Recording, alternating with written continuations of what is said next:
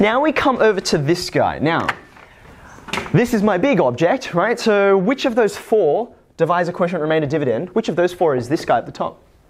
The thing that is being divided by. This is the dividend, right? I'm going to label that. There's my dividend. This x minus 5 down the bottom, this is the thing doing the dividing, so it's the divisor. So what I'm going to get out of this is a quotient and potentially, most likely, a remainder, whatever that happens to be. Now I'm going to arrange this just like I did before. All of the machinery you have in your brain, which is good at numerical division, we're going to use it for polynomial division. So I'm going to draw exactly the same kind of shape that I did before, like so. Here's where my divisor belongs, and here is where my dividend belongs. Okay.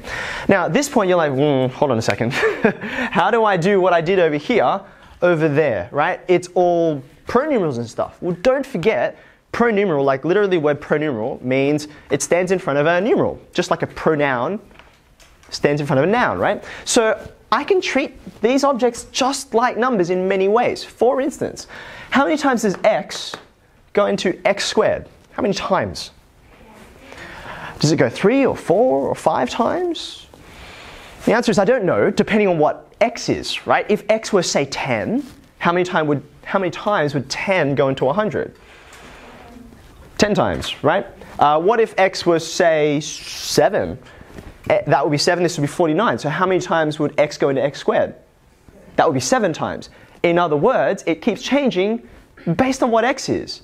x goes into x squared x times. Does that make sense? If you're dividing through, they're just normal numbers, right? You get this by multiplying these two together, right? You get uh, this by getting multiplying these two together, okay?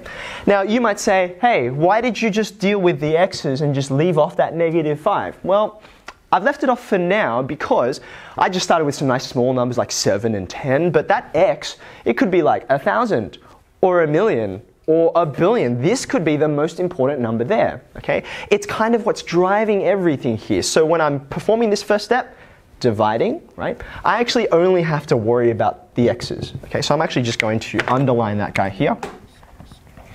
When dividing, this is the part that matters. Okay? Now, your brain might still be a bit I'm comfortable with that because we didn't do that over here. We didn't just say, oh, I'm going to ignore part of the seven, okay? But hopefully by the time we get to the end of this sort of algorithm, this step, you'll be convinced that, oh, it does work. This is an okay thing to do, okay? So we just did step one. We divided, we said x goes into x squared, x times. What was the next thing that I did? I multiplied, right? So I multiplied from here round down this way, okay? So I'm going to take x and multiply it by, now I'm not going to ignore everything, I do need everything for this next step, x minus 5. What's x times x minus 5? x squared, right? x times x minus 5x. And I've written it down there just like I did before, like with place value, but here I don't have place value, I have coefficient value, if you like. Divide, multiply. Step three was subtract. Now just, just be a teeny bit careful. Unlike in numerical division, we have negative signs that can fly around in here. Okay, we don't usually have neg- negative signs just hanging out in the middle of I've got 300 and a negative 10, right? Because we would cancel them out. But here you can have minus signs. So what happens here? Just watch out for the double negative. What are you going to get? These x squareds, they just go. 4x take away negative 5x is 9x. Are you okay with that? Brain still handling all right? I've subtracted. Subtraction's over. What's the last step before I re-begin? We carry, right? Bring this guy down. Like so. You okay with that? Now, at this point here, we got to 35, and then I just had to go right back to the beginning and start the dance again. Does that make sense? So, how many times does x go into 9x? Remember, when dividing, this is the only thing that matters. Nine times, right? If, uh, if x was 7, this would be 63, goes in 9 times. If this were 9, that'd be 90, it goes in. Wait, what did I just say? Yeah, no, if this were 10, this would be 90. Goes in 9 times. Are you okay with that? So where does the 9 go? Up here. multiplied, that's going to be 9x. 9 times negative 5 minus 45. How are my numbers so far? You okay? I'm up to subtract. 1 take away negative 45. 46. It's early, but not that early.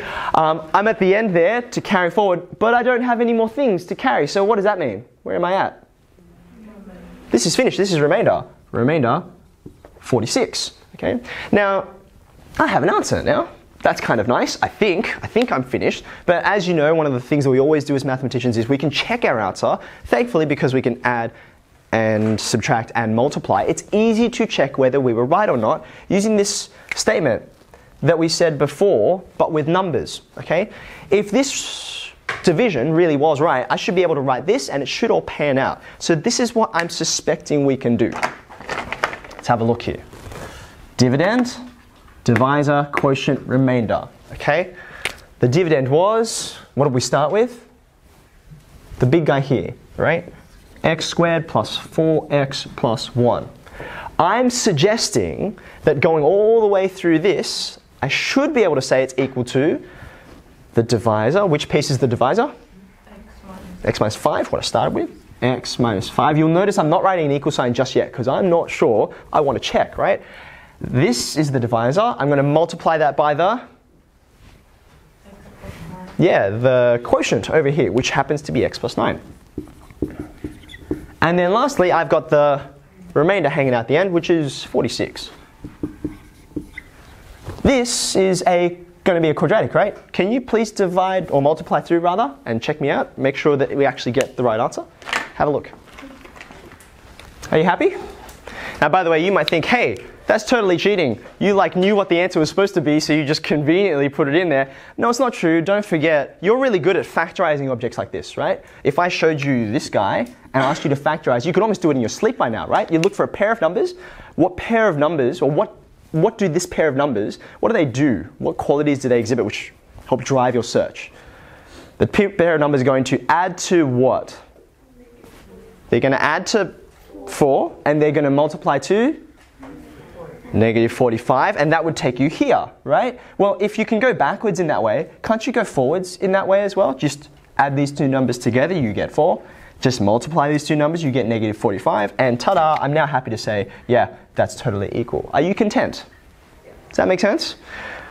So, your brain might be slightly in a twist right now. That's okay, because for the vast majority of you, this is completely brand new. You're looking at this and you're like, what does this have to do with this?